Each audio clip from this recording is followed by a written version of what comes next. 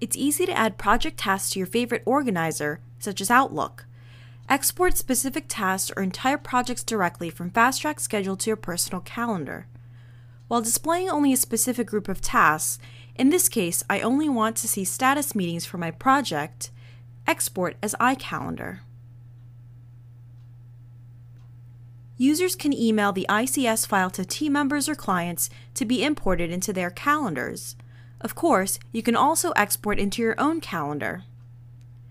A dialog will inform you that only currently displayed tasks will be exported and not the entire schedule. Locate and open the exported ICS file into Outlook.